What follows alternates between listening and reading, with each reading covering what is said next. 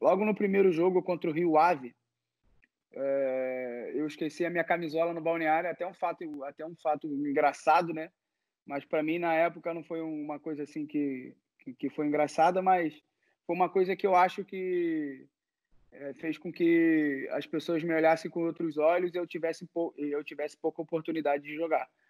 É, eu esqueci minha camisola no balneário e a, a gente desce para o jogo e o Kiki Flores é, precisa, porque o Carlos Martins bate a cabeça no, no, jogo, bate a cabeça e cai no chão e sai desmaiado. E ele me chama para entrar. Quando me chama para entrar, eu tô sem a camisa. E foi uma das coisas que me marcaram em Portugal, que me marcaram no Benfica. E eu creio que se esse, se esse episódio não tivesse acontecido, eu teria mais chance, eu teria jogado mais e com certeza teria mostrado mais do meu futebol no Benfica e teria mais oportunidade. Assim, tomei 10 jogos, eu fiquei 10 jogos sem ir para o jogo, para qualquer jogo, e tomei 50% do meu salário na época. Todo mundo me bateu, até os próprios jogadores também, o Luizão, como eu falei, era um pai para mim, me, me deu um puxão de orelha, o Davi também me deu um puxão de orelha, é, falando que era a oportunidade da minha vida e eu tinha desperdiçado e realmente eu, hoje, passando, passados anos, quase 12 anos, eu vejo que foi uma oportunidade mesmo que eu perdi e que muito, muito não, praticamente só a culpa minha que eu, que não, com certeza isso aí não deve acontecer, isso aí é uma coisa que eu carrego para minha vida e todas as vezes agora que eu que eu tô no banco de reservas eu levo, boto, eu já boto a camisa no aquecimento porque foi uma coisa que me marcou. Na época, né? Aí o Benfica dava um shampoo, um sabonete em líquido para to, todos os jogadores, né? E eu, com 18 anos, eu ia, eu fui muito no que o Davi falava para mim, Davi Luiz. E aí todos os jogadores, a gente entrava para tomar banho e eu ficava lá dentro do chuveiro esperando os jogadores entrarem. Quando os jogadores entravam, eu jogava o, o, o, sabonete nos jogadores. Beleza, aí, aí tá bom, tomava um banho.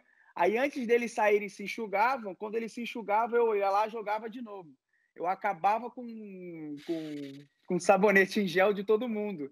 Até que um dia eu fiz isso com o Rui Costa e ele ficou muito chateado comigo, brigou comigo.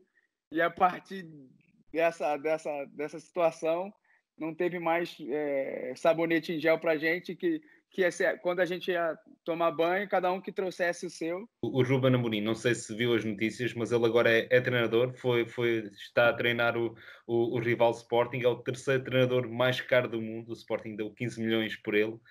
Já, já ouvia naquela altura, já, já havia nele um, um possível treinador? Sim, é um, era um, um, um cara muito inteligente, é um cara muito brincalhão. Lembro que era um dos, das pessoas que mais gostavam de, de brincar dentro do, do balneário. É, era um cara que eu, eu tinha muita aproximação. Era um, um, um, cara que, que, que a gente já via como um potencial treinador, um cara muito inteligente, como eu falei. É, dentro do jogo, eu, por ser muito novo, ele me ele, a gente da mesma, quase da mesma posição, e ele conversava bastante comigo para fazer as coisas certas e, era, e eu já via isso nele.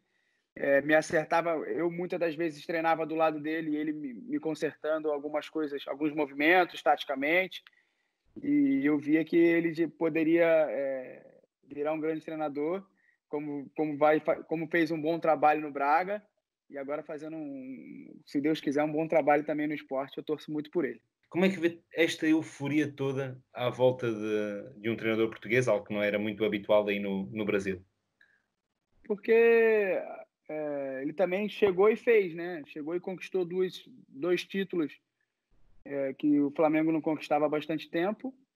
É, fez um grande trabalho, demonstrou também que sua equipe conseguia jogar um jogo ofensivo que todos os, todas as pessoas pediam para todos os, os times do Brasil jogar jogava um jogo muito bonito e por isso essa essa admiração e essa aclamação para o Jorge Jesus.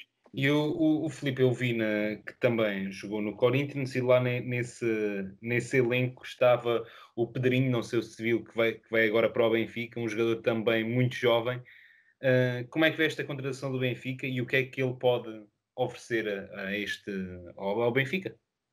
Uma grande contratação, é um menino muito novo, com muita qualidade, É, um menino muito diferente. Eu peguei ele subindo do, do júnior para o pro profissional. E é um menino sem, que sempre foi muito diferente, muito trabalhador.